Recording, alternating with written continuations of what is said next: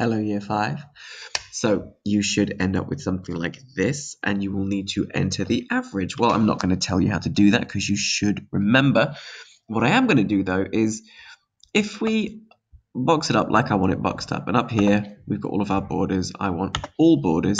It doesn't look very pretty. Everything's all squashed together. Can you see? This just spills right on out.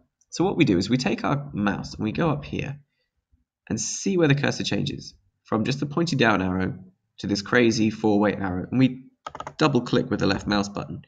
As we do that, all of the cells auto adjust to the length that we need them to be. So there we go. I'm going to leave you with that. Everything else you should be able to do.